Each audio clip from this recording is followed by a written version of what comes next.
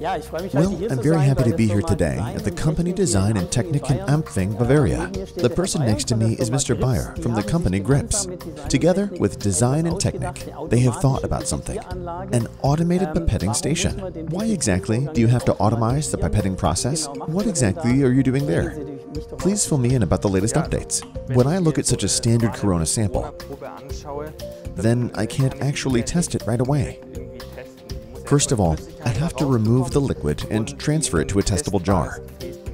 For this, we have a so-called deep well plate.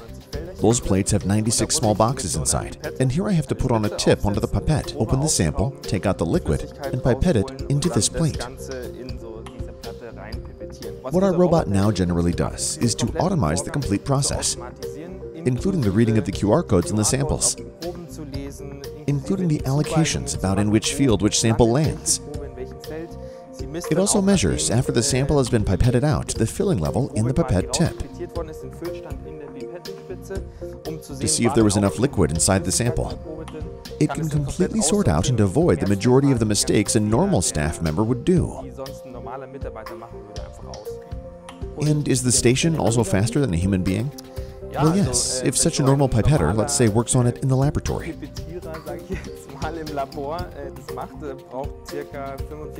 It takes about 45 minutes up to an hour. For this whole panel, the 96 samples I need, not only for one. Exactly. This is done by our robot within 10 minutes. So, you are saving up a lot of time. You were probably working on this for a long time.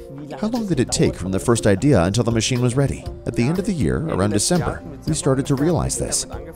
And now, in the beginning of May, we are more or less done with it. I can tell you, the first automated machine is already standing in the laboratory, and everything functions perfectly.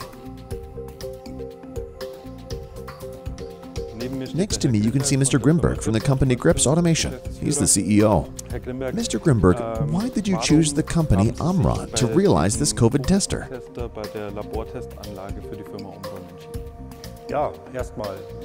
Well, first of all, we're working together with the company Omron for a quarter of a century, so 25 years all in all. We developed a lot of system integrations together. Above that, the company Omron offers a very wide product range that supported us in the overall solution. It starts with the displays and continues with the robots, the barcode readers, the drive technology, the control system, and so on. And this simplifies our life insofar as they deliver a complete smart solution.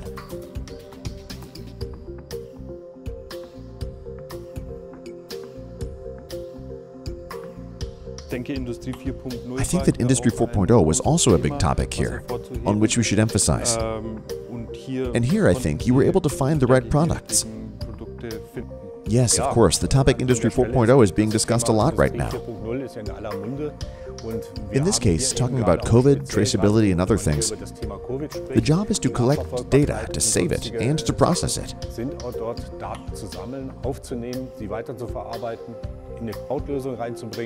This is quite definitely our passion, or a topic that we are realizing pretty well with these products. Okay, thanks a lot. So then I wish you a lot of luck with this unit. It's totally great what you have developed here. And I want to thank you that you allowed us to have a look at it today. Thank you very much for the conversation.